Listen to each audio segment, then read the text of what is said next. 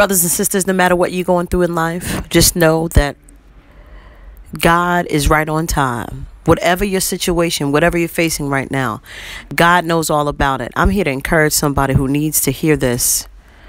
This is your confirmation. God knows about that situation. You will be blessed.